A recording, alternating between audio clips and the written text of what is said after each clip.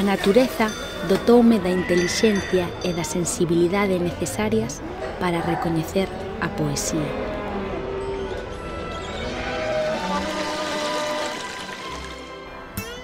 Estamos eh, no Parque dos Paxariños, que linda co parque co paseo do Río Rato.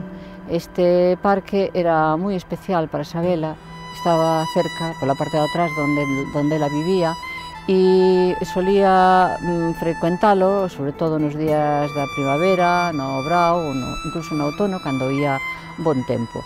Por aquí eh, ten paseado moitísimas veces co seu fillo Alexandre cando era pequeno. oí falar dela moitas veces, pero coñecina moitos anos despois, nunha ocasión en que nunha manifestación en Santiago, creo que era o 25 de xullo, eu vien unha rapaza que moi entusiasta, que levaba unha bandeira, bailaba, saltaba, e era Isabela.